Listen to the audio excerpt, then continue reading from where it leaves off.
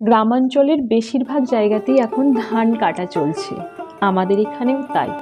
গতকাল আমাদের ধান কাটা হয়ে গেছে, সেই জমিতে আমরা দেখতে যাচ্ছি। আর এই জমিটা আমাদের একেবারে গ্রামের শেষ সীমানাতে অবস্থিত। আর এখানেই আমাদের জমির পাশে একটা আমাদের আশ্রম আছে। সেই আশ্রম, আশ্রমের মনোরম পরিবেশ আর আমাদের জমি আমি বন্ধুদের সঙ্গে শেয়ার করব। অবশ্যই একটা লাইক দিয়ে পাশে থাকুন। আশ্রমের দ্বিতীয় গেট দিয়ে আমি আশ্রমের মধ্যে প্রবেশ করছি।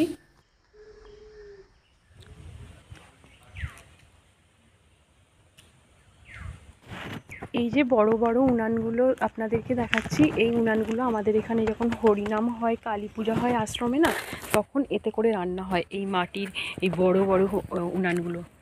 দেখুন, এগুলোকে ভালো করে রেখে দেওয়ার চেষ্টা চলছে। একটু ভেঙে যায়, আবার একে করে ওই এক লাইনে ওগুলোও কিন্তু উনান। অনেক রান্না হয়, পুরো গ্রামবাসীর আমাদের রান্নাটা হয়। মন্দিরের দিকে যাচ্ছি। এই সামনে এখানে হরিনাম হয়। চৈত্র মাসেতে আমাদের হরিনামটা অনুষ্ঠিত হয়ে থাকে। আর এর পাশেই একটা মন্দির, নূতন মন্দির তৈরি হচ্ছে। এই মন্দিরটা সকল গ্রামবাসীদের দানেতে মন্দিরটা গড়ে উঠছে। আমি মন্দিরে খুব সকাল সকালই এই আশ্রমে চলে এসেছি। সেজন্য উম, বড় মা এখানে পরিষ্কার করছে। এখানে মন্দির চত্বর মন্দির ধোয়া মোছার কাজটা বড় মা করে থাকে। সকালে আশ্রমে আসা আর আশ্রমে এসে মায়ের দর্শন খুব মনটা মানে ভালো হয়ে যাবে। সকলের দিনটা যেন ভালো যায় সকলে যেন ভালো থাকে।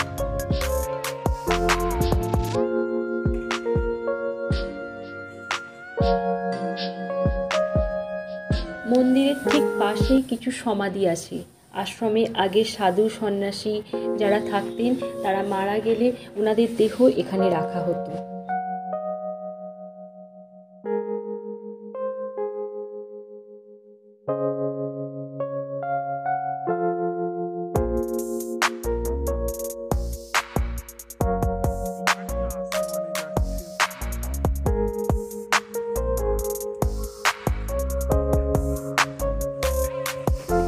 এটা আশ্রমের ঠিক পিছনে একটা পুকুর আছে। এটা আশ্রমেরই এটা পুকুর আর এখানে কাছাকাছি যত সম্পত্তি রয়েছে সবই এগুলো আশ্রমের বন্ধুরা।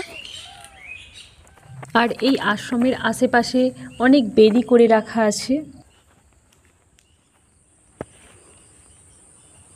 এখানে একটা মনসার বেদি রয়েছে। এটা ওই যে আশ্রম আশ্রমের ঠিক পাশেই। মা মনসার একটা বেদি আছে আমাদের।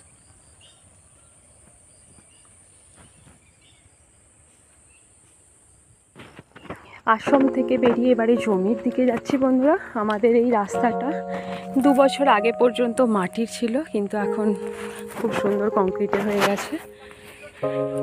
ওই জায়গা দিয়ে নেবে যাব। রাস্তা থেকে জমির দিকে নামছি। জমিটা অনেকটা নিচুতে দেখুন। বর্ষাতে এখানে ভালোই জল জমে যায়। আর এটা ডিপ টিউবওয়েলের একটা ঘর। যখন জল থাকে না, এখান থেকে টিউবওয়েল ডিপ টিউবওয়েল থেকে জল নেওয়া হয়।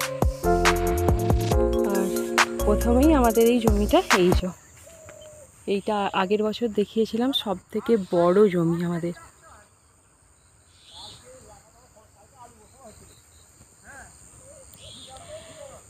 এই জমির ধানটা মেশিনে কাটা হয়েছে, তো বাপি দেখতে এসেছে।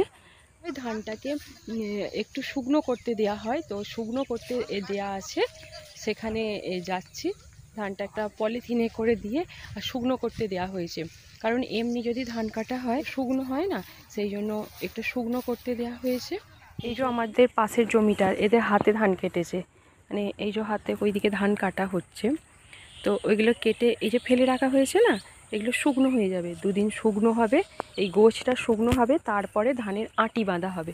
কিন্তু আমাদের যেহেতু মেশিনে কাটা হয়েছে তাহলে এক মানে আর শুকনো হওয়ার সময় হয়নি ওই জন্য এতে করে শুকনো করতে দেওয়া হয়েছে এই। একটু পরেই ধান কাটা হয়। দেখুন বন্ধুরা বেশিরভাগ ধানটাই এখানে কাটা এখনও হয়নি। পুরো একবারে সোনালি রঙে ভরপুর। মেশিনে কাটার পরে কিন্তু কোনো খড় পাওয়া যায় না। খড়টা পুরো নষ্ট হয়ে যায় গরু আর খেতে পায় না। কিন্তু এই যে এদের যে হাতে কাটছে হাতে কাটলে ঝাড়ার পরে এই মেশিনের ধান কাটলে ভালো করে কাটার পরে মেশিন যখন ঢেলে দেয়, সেই ধানটাকে শুকনো করতে হয়। তার কারণ, ওতে তো কিছু কচি ধান থাকে, কি এবং শীষের যে রসটা, সেটা সবই নিংড়ে চলে যায়, ওসব পাইল হয়ে যায়। সেই রসটাকে শুকনো না করলে ধানটাও হয়ে যাবে, বদরং হয়ে যাবে, রং কেটে যাবে। এবং চালও কেটে যাবে। সুতরাং রোদ খাওয়াতে হবে অন্তত কমপক্ষে দুই থেকে তিনটি দিন ভালো করে রোদে শুকিয়ে তারপরে হ্যাঁ। তাকে গোডাউনে মাঠের ভালো হয় এটা। কোনো কোনো ক্ষেত্রে বাড়িতে নিয়ে চলে যাওয়া সেই কাটাটা দিনের আলোতে কাটলেই ভালো হয় রাত্রিতে কাটলে ধানের রং খুব ওই যে দূরে ওখানে আমাদের বাড়ি। আর এই জমি একেবারে শেষ প্রান্তে আমাদের গ্রামের।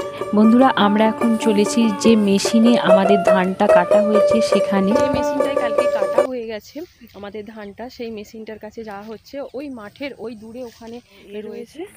গাছ গাছ রেখে রেখে রেখে রেখে কাটা হয়েছে। নাড়া। এইগুলোকেও আগে জ্বালানির জন্য কেটে নিয়ে যাওয়া হতো এখন আর কেউ কেটে নিয়ে যায় না। পাটকাঠি দিয়েই হয়। নাড়া রেখে রেখে অনেক কাটতে হয়। এই যে এইখানটা দেখুন, এইখানটা থেকে ধান বের করেছে। ওই জন্য এই জায়গাটা এই ধরনের হয়ে রয়েছে। এই যে দেখুন না, কেটে দিয়েছে, মাঝে রয়েছে। আমাদের গ্রামের এরকম টুকিটাকি কিছু জিনিস আপনাদের সঙ্গে এইভাবেই শেয়ার করছি। আচ্ছা বলে কোনো সেটেলমেন্টের রেকর্ড নেই। আমাদের জমিটা, বাপি বলল চুয়ান্ন শতক। এই জমিটা আমাদের খুব বড় একটা জমি। আমাদের যা জমি রয়েছে, এই জমির ওই যে পাশে দেখালাম, ওইখান দিয়েই নেবেছিলাম একটা ডিপ টিউবওয়েল আছে, যখন জল থাকে না, জল দিতে হয়। এই যে অফ সিজনে যে ধানটা হবে, তখন চাষ দিতে হবে। আর এইখানটা তো জলই হয়ে যায়। এই জায়গাটাতে, এটাও আমাদের জমিরই একটা অংশ। এখানে চাষ হয় না বেশিরভাগই। এটা দেখুন। এখানে চাকাটা আছে। এই যে, ওই মেশিনটাতে এসেছি আর এখান দিয়ে পাশে জায়গা রয়েছে, আমরা এখান দিয়েই উঠে যাব। এই যে, এই মেশিনটা দিয়েই ধানটা কাটা হয় এই সামনের দিকে।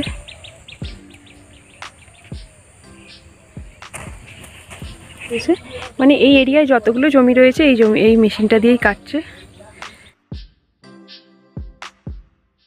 তো বন্ধুরা আমাদের গ্রামের শেষ প্রান্তের আমাদের আশ্রম, আমাদের জমি আপনাদের সঙ্গে শেয়ার করলাম।